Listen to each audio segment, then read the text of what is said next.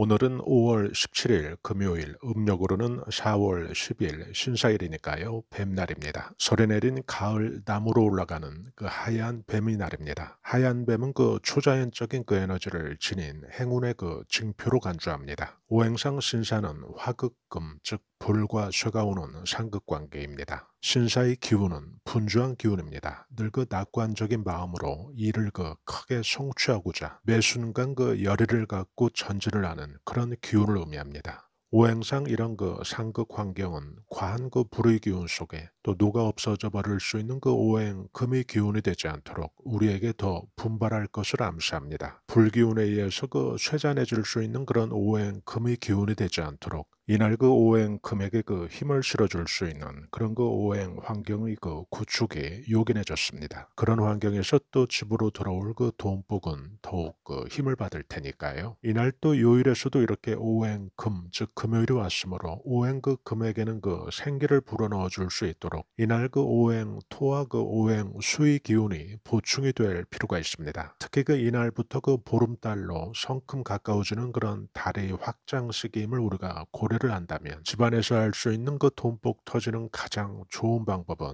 이날 그 여러분들께서 그 정갈하게 받은 그 물그릇은 그 식탁 한쪽에 놓아주시고요. 또한 그 집의 물의 구역인 그 집안 북쪽 구역에 이날 여러분들께서 소금 반 스푼을 그 흰 접시에 담아서 두시기 바랍니다. 이렇게 되면 그 정화된 또 막힘없는 그런 금전운의 유입을 집의 그 물의 구역으로부터 또 힘차게 집안으로 또 폭포수 쏟아지듯이 그렇게 그 불러들일 수 있는 그 풍수 암시를 또 우리가 거둘 수 있습니다. 이렇게 도와주신 그 물그릇과 그 소금은 날이 바뀐 그 다음날 또 철수시켜 주시면 또 풍수 방법은 깔끔하게 또 마무리가 됩니다. 오늘도 여러분들께서 그 부와 번영 그리고 길조를 몰고 온다는 그 하얀 그 뱀이 날에 크게 그 돈복 거머 주시기 바랍니다.